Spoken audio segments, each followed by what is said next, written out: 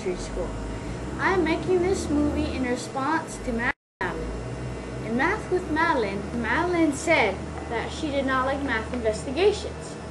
She said that there was too much writing in your explanations. But I think that if you're able to write and explain yourself, then you will be able to it will help you in 20 minutes when you have to share it with your class or when you're out of college and you have to share with a whole conference room of people. She also said that you work a problem to death. I think that we work a problem deeply, maybe not to death, but I think that when you work with a problem deeply, you understand more about connections and conjectures about if you can use the way you solve this to solve this and all these different things, then just knowing the answer to that one problem. Knowing the answer is, you know, it's valuable, but it's not the main thing. And back to the explaining. Where would we be if Da Vinci didn't ex couldn't explain himself, or if Albert Einstein couldn't explain himself? Where would the human race be? You know. And you and you mentioned TERC math and Saxon math and Singapore math, but you never mentioned a teacher. Hi, I'm Jen Rivas. I'm Mason's fifth grade teacher, and I'm a little bit surprised that Madeline did not mention a teacher either, because I think good teachers are necessary in order to support good mathematics. Um, when Mason came into my classroom, he wasn't just an empty vessel that I needed to fill with numbers, along with all the other students in my classroom. Students come into our classrooms already knowing information. And our job as teachers is to find out what they already know in order to help guide in order to help guide them to where they need to be. There are things that Mason knows that other students may not know. And in his explanations, students are able to learn from him. In addition to other students, there are students who know other things that Mason may not know. And through that classroom community, with each of us knowing different things, each student is able to act as a teacher. So Madeline, we are going to take a look at the activity you did. And we are going to work this problem deeply today, Mason, but not to death. So here it is, Mr. Rivas. It says, choose a number to count by. Pick one you think will land exactly on 300.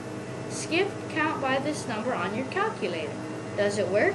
If so, write how many of your number it takes to get to 300. We're going to use the same number you used, which is 6. Before we use our calculator today, Mason, I want you to think about your calculator like a tool. It's going to help us get where we need to go, but it's not going to do the thinking for us. Because by itself, a calculator is pretty useless. It needs to have a mind behind it. So 6. Let's start with 6 plus 6. That gives us 12. So we have 12, 18, which is 3 sixes, 24, which is 4 sixes, 30, which is 5 sixes. Okay, and let's stop at 30 for a minute. Okay, what do you what do you know about the number 30? And more specifically, what do you know about 30 and its relationship to 300? 30 is a tenth of 300. How can we use what we know about 30 to help us figure out how many sixes are in 300? Well, there was five sixes in each 30. So if there's five sixes in each 30 and we multiply 30 by 10, we have to take the 5, multiply that by 10, and we'll have the answer. So how what is the answer? How many sixes are in 300? 50. Okay, so numbers you tried. 6. Did it land exactly on 300? Yes, it did. How many in 300 was 50? Is there a way we could check our work to make sure we were correct? We could take 300 divided by 6. Okay, let's do that. That equals 50. All right. We got one. We could try 3. Okay. What would be your prediction about how many times 3 could go into 300? It would be 100 because it's half of 6, which would double how many times it goes into. Hmm. Let's write that down. Okay. Numbers 3. Pick another number. What about if we doubled 6? Should we try that? Okay, let's double six. Okay, so 12. Okay, so what's what do you um, predict? How many 12s are in 300? I predict that it'll be 25 since we're doubling the 6, making it a bigger chunk. So it'll have less space to go into 30. Okay, let's 300. into 300. Okay, let's write it down and then let's check it. Or let's check it first before we write it down. Okay. And that equals 300. So wh- what about 24 then? Okay, let's try 24. Okay, 24. Would we have 25, which would equal 12.5? Why do you think we would have 25?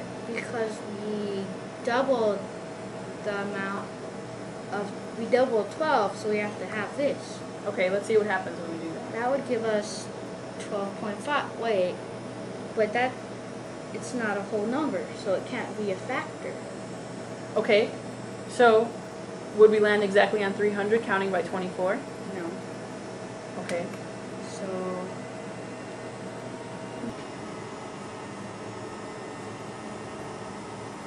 Okay, Mason. So, looking at your numbers, is there any number on your list here that would help you figure out another number to try to find a factor if it's a factor of 300? what if we try to find thirds instead of just halves or doubles?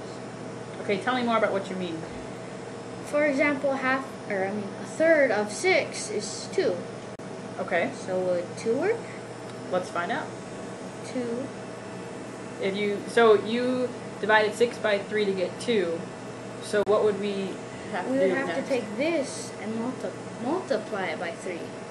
So we get 150 and 2. So 2 times 150. Oh, oops. 2. 2 times 150.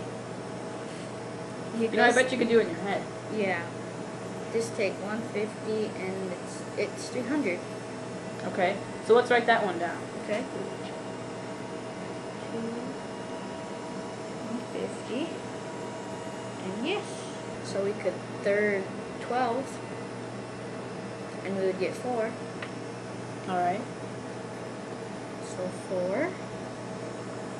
And then we'd have to take 25 multiply by 3, which is 75. So 4 times 75 equals 300.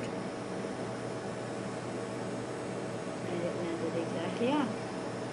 So, sorry you didn't have a good experience with math investigations, Madeline, but personally, I love it. It helps you find different invest helps you find different relationships, like we did here with numbers. It helps you think on your feet. It helps your life not be tied to a script, and most important, it helps you work with other people, like my teacher. I enjoyed working with you today too, Mason. So, have a good afternoon and good thinking.